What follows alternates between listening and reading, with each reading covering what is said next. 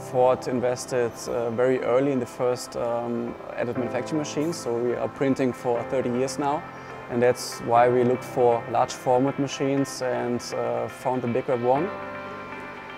So here we have our first application for the BigRep 1. This is the seal gap frame.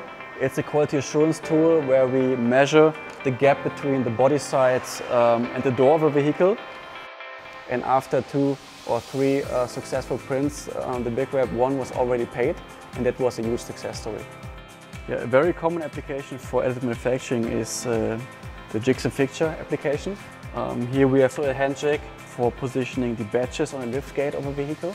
It's also printed with uh, Pro HT on the BigRep 1. Um, the biggest advantage of large-scale um, printing is getting rid of assemblies. When we are able to really produce bigger parts by one piece, this gives us a huge advantage.